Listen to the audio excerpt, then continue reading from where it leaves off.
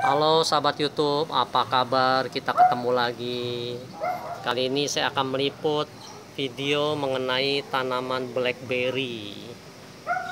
Nah, ini tanaman blackberry ini mempunyai ciri khas daun-daun pinggirnya ini bergerigi dan dahannya kita lihat banyak sekali duri-duri. Tanaman blackberry termasuk tanaman yang tidak terlalu sulit untuk dipelihara. Dia membutuhkan sinar matahari langsung dan cukup disiram satu hari sebanyak satu kali.